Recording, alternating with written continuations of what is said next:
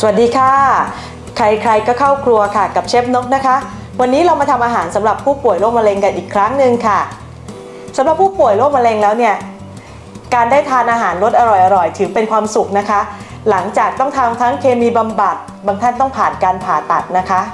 วันนี้เราก็เลยออกแบบอาหารที่มีรสชาติหน่อยสำหรับผู้ป่วย ในขณะเดียวกันก็ยังได้ดูแลสุขภาพด้วยค่ะ เมนูวันนี้ก็คือปลาย่างราดซอสส้มค่ะ เดี๋ยวเราไปดูส่วนผสมกัน เอาละค่ะสำหรับส่วนผสมของเมนูปลาย่างราดซอสส้มนะคะ เรามาดูส่วนของปลาย่างก่อนค่ะ วันนี้เราเลือกใช้ปลาโดลี่นะคะ ส่วนนี้เรียกชิ้นว่าปลาโดลี่ฟิเลค่ะลอกกระดูกออกเรียบร้อยแล้วนะคะ ถ้าเกิดคุณไม่มีปลาโดลี่เนี่ยเลือกเป็นปลาเนื้อขาวสีปลาชนิดอื่น ๆ สีขาวก็ได้ค่ะ อย่างเช่นปลากระพงนะคะ หรือว่าออาจจะใช้ถ้าเกิดแพ้ปลาเนี่ยอาจจะเปลี่ยนเป็นกุ้งก็ได้นะคะ หรือว่าไก่ก็ได้ค่ะ ส่วนนี้ก็คือส่วนผสมของแป้งสาลีนะคะ เลือกใช้แป้งสาลีอเนกประสงค์ค่ะ ตัวนี้เรามาช่วยให้มันเป็นเคล็ดลับนะคะ ปลามันจะไม่ติดกระทะค่ะ อันนี้น้ำมันมะกอกค่ะ สาเหตุที่ใช้น้ำมันมะกอกก็เพราะว่าน้ำมันมะกอกเนี่ยเป็นน้ำมันพืชชนิดเดียวนะคะ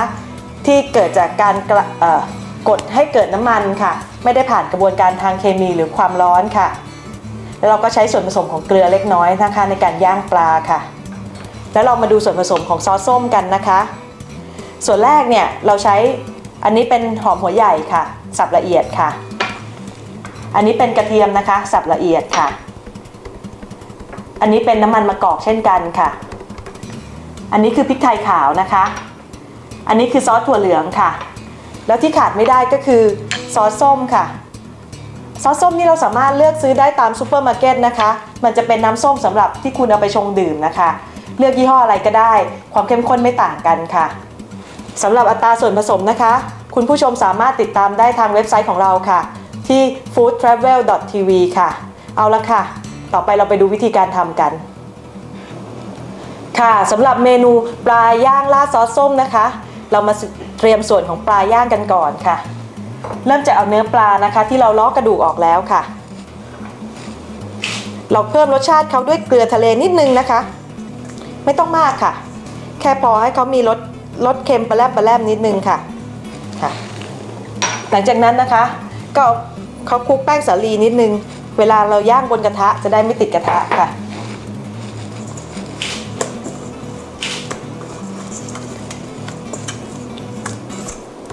ตอนนี้ปลาก็พร้อมที่จะย่างลงบนกระทะแล้วนะคะ เดี๋ยวเราไปดูกรรมวิธีการย่างกันค่ะ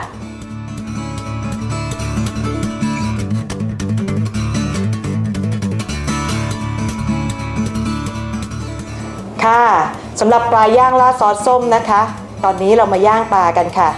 เคล็ดลับการย่างปลานะคะ กระทะคุณต้องตั้งให้ร้อนก่อน ถ้าคุณเอาปลาลงก่อนที่กระทะจะร้อนเนี่ยปลาคุณติดกระทะแน่ค่ะ ตอนนี้กระทะเราร้อนแล้วนะคะกรีซน้ำมันมะกอกลงไปนิดนึงค่ะ ช่วยไม่ให้ปลาติดกระทะนะคะ กระทะย่างเนี่ยคุณเลือกใช้กระทะแบนๆที่บ้านก็ได้ค่ะ ไม่จำเป็นต้องไปซื้อเตาย่างที่ไหนนะคะ ใส่ปลาลงไปค่ะ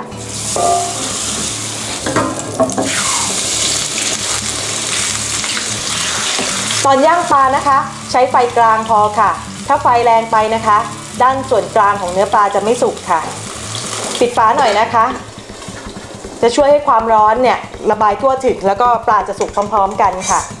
ขั้นตอนนี้กินเวลานิดนึงค่ะ ระหว่างที่เรารอเนี่ยมาทำซอสส้มกันเลยดีกว่าค่ะ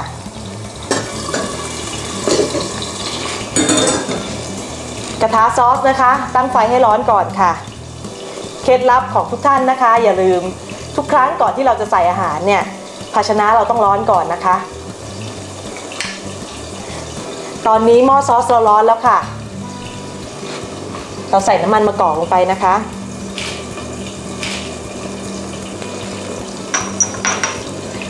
รอให้น้ำมันร้อนนิดนึงนะคะ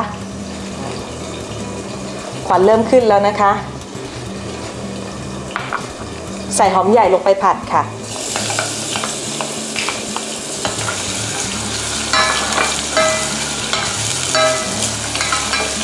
หอมใหญ่เราสับละเอียดนะคะ มันจะได้สุกเร็วนิดนึงค่ะ เราผัดจนกระทั่งหอมหอมใหญ่เนี่ยส่งส่งกลิ่นหอมพอนะคะ แล้วก็จากหอมที่มันแข็งๆกรอบๆเนี่ยออกนิ่มๆนิดนึงสีออกเหลืองนวลๆเนี่ย เราก็เติมกระเทียมลงไปค่ะ เช่นกันค่ะ ระหว่างที่เรารอกระเทียมสุกนะคะ หอมใหญ่ก็จะสุกไปด้วยกัน อย่าลืมปลาที่ย่างอยู่ข้างๆนะคะ เช็คดูนิดนึงค่ะ ถ้าด้านล่างสุกแล้วเนี่ยพลิกพลิกเอาอีกด้านหนึ่งขึ้นมานะคะ สุกกำลังดีเลยค่ะ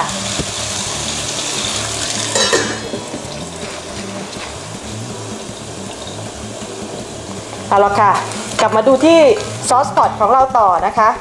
ตอนนี้หอมใหญ่กับกระเทียมค่ะ ส่งกลิ่นหอมมากเลยค่ะ เราก็เติมซอสส้มของเราลงไปนะคะ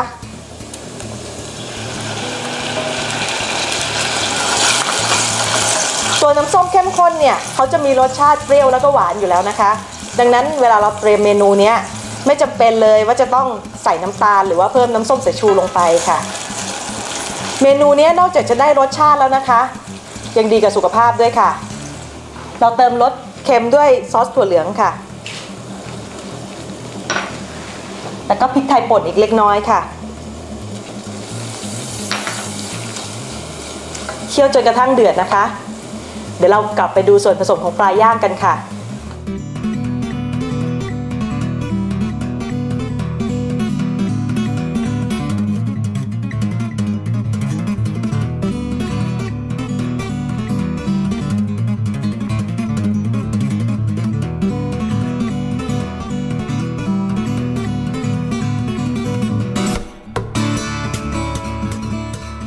เอาละค่ะ ซอสส้มของเมนูปลาย่างราดซอสส้ม ตอนนี้เดือดได้ที่แล้วนะคะ เรากลับไปดูที่ปลากันค่ะ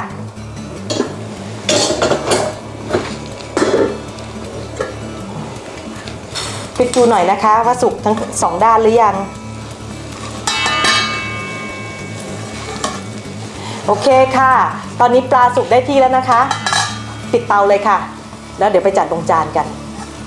ค่ะ ตอนนี้เรามาจัด ปลาย่างราดซอสส้มลงจานกันนะคะ ปลาย่างที่สุกได้ที่แล้วนะคะทั้งชิ้นเลยค่ะ หาจานยาวๆใส่ค่ะ จะได้สวยๆนะคะแล้วเราก็เอาซอสส้มนะคะ ที่เราเคี่ยวจนสุกแล้วค่ะราดลงบนตัวปลาเลยค่ะ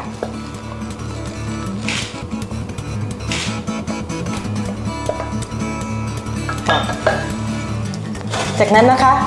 ตกแต่งค่ะ วันนี้เชฟเลือกเอาหัวหอมแล้วก็ต้นหอมนะคะ มาตกแต่ง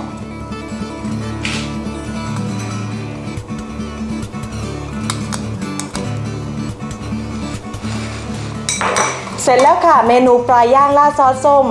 แค่นี้คุณก็สามารถทำให้ผู้ป่วยที่บ้านของคุณ มีวันที่สุดแสนพิเศษกับอาหารจานโปรดของเขานะคะสำหรับอัตราส่วนผสมสามารถติดตามชมได้ที่เว็บไซต์ของเราค่ะ ที่ foodtravel.tv ค่ะ